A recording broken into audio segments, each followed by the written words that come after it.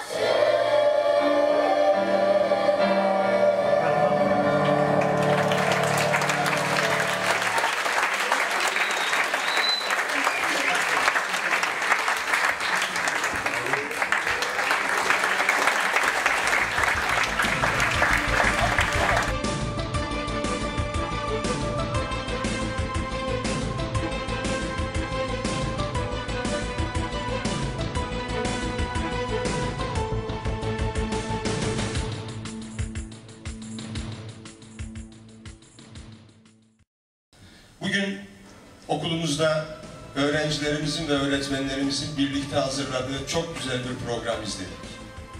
Sevgili Gazi Paşam, öğrencilerimiz, küçük öğrencilerimiz, gençlerimiz ve öğretmenlerimizle size layık olan güzel bir anma programını izlemeye çalıştık hep birlikte. Bu güzel programda emeği geçen başta kutlama komitesi başkanımız Berna öğretmenim olmak üzere bütün öğrencilerimizi, öğretmenlerimizi, küçük çocuklarımızı büyük bir ciddiyetle büyük, büyük bir şevkle atalarına layık olmaya, layık olmaya çalışarak güzel bir program hazırlayan tüm bu genç öğrencilerimize çok teşekkür ediyoruz. Sevgili Atatürk, bu öğrencilerden ve bu öğretmenlerden bu ülkede binlerce ve milyonlarca var. Onlar senin ışığını ve senin bayrağını hep taşıyacaklar ve senin yolunda hep yürümeye devam edecekler.